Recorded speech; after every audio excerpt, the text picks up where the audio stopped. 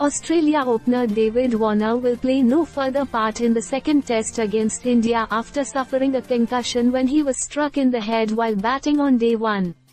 Warner will sit out the remainder of the second test, with fellow left-hander Matthew Renshaw earning a reprieve and named as his replacement. A more patient Warner managed just 15 runs in the first innings of the test on Friday, but the 36-year-old took a couple of knocks to his body and helmet in the process during his 44-ball stay at the crease.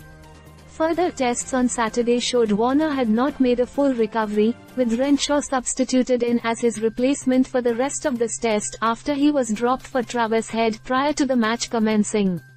Whether Warner recovers in time to feature in the third test of the series in Indore from March 1 remains to be seen in Australia will miss his experience on the field while he remains sidelined.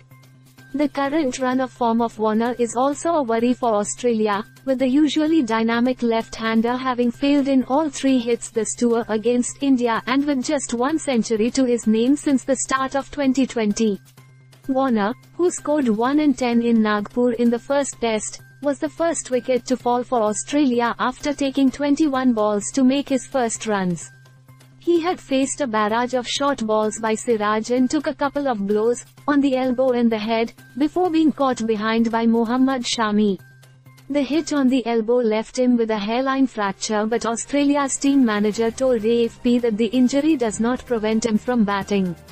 He did not come out to field and fellow opener Usman Khawaja, who top scored with 81 in Australia's 263, said his senior partner felt weary after the hit on the head.